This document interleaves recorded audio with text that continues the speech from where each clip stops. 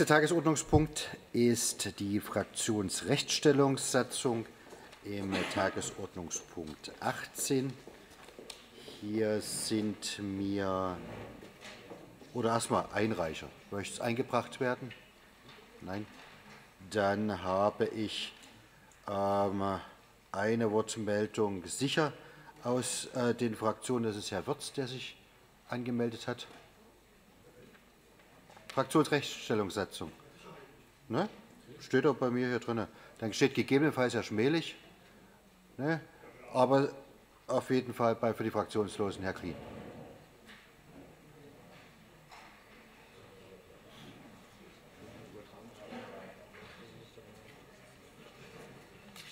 Ja, meine Damen und Herren, Herr Oberbürgermeister, als ich noch sah, noch mehr Redner, hatte ich schon Sorge, dass mir jemand die Pointe wegnimmt.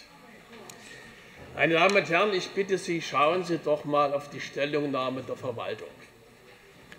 Herr Dr. Lames, Ihr Name steht darunter. Insofern halten Sie Ihren Kopf dafür hin, was Ihnen irgendwo ein Schludderlöffel aufgeschrieben hat.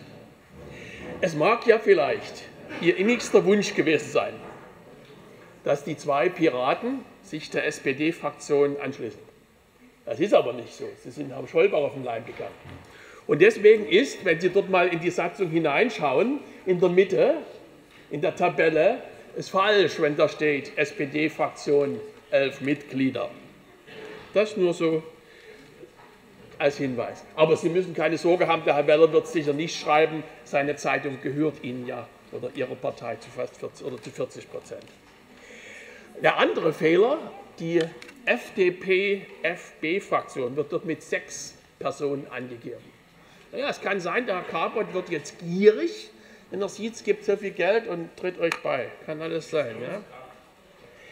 Dass, kein Redner, dass keiner von Ihnen das gesehen hat, aufgestanden hat und hat gesagt, das ist falsch, hier ist ein Fehler drin.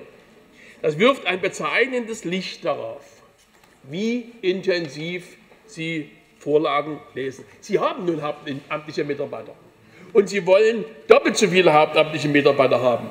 Aber Vorlagen genau lesen, das machen Sie nicht.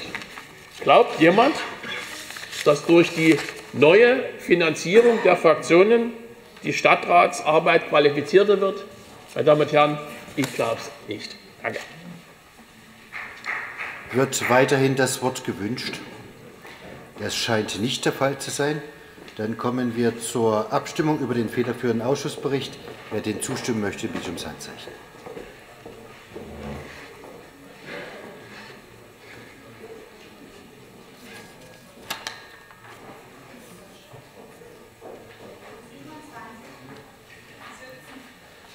Gegenstimmen und Stimmenthaltungen. Bei zwei Gegenstimmen keine Enthaltung und 59 Ja-Stimmen ist das auch so angenommen.